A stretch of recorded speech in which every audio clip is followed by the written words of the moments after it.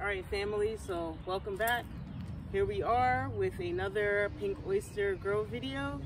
This tech actually is applicable to any uh, any type of species that will grow in straw.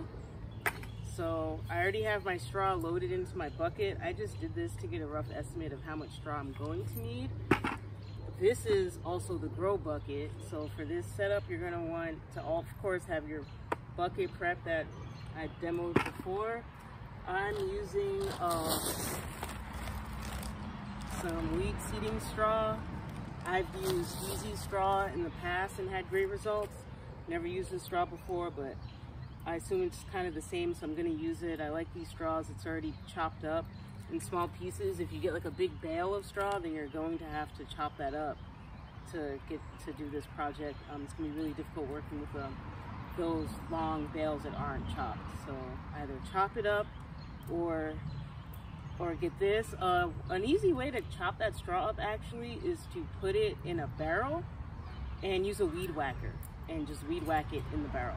I've heard of that. So that's what we're doing here. So I have my bucket of straw.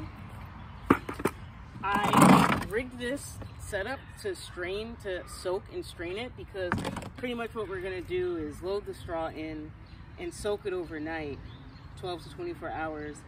I, however, um, I like this method. It's easy for me, especially working small scale.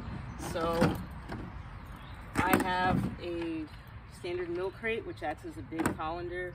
And then I have this uh, this 20 gallon storage tote that it fits, it nestles into, and I made a spigot on it, which is actually not even really necessary for this project, but um, I do that for grain in buckets. I also use this setup for doing my soaking my grains. So I'm just gonna drop this in, and I'm gonna load up the straw inside.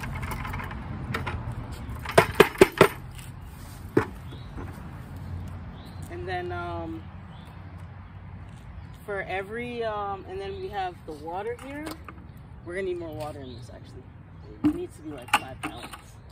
So with the, um, with lime pasteurization, with cold water pasteurization, you can use just standard pickling lime.